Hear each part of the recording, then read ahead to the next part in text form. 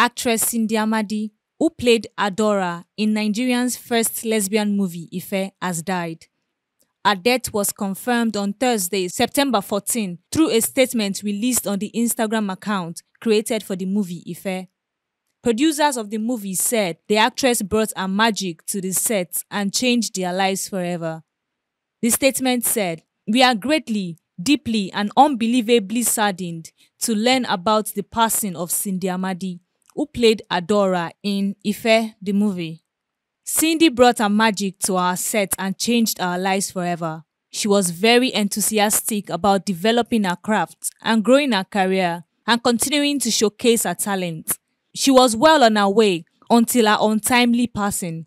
We cannot begin to imagine the pain and loss our family feel right now. On behalf of our entire cast and crew, we send our deepest condolences to our family and wish them all the comfort they need at this time. Rest in peace, Cindy. Thank you for sharing your gift with us. We will always remember you and you live in our hearts forever.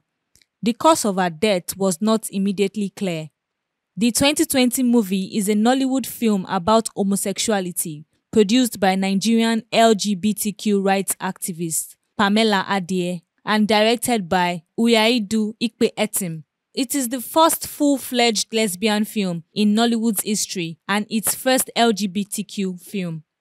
Mourning Cindy, Pamela wrote on Instagram story, This wasn't the plan, Cindy. I promised you we'd make the sequel and you were excited. I'm sorry we couldn't complete it in time, but we will complete it for you.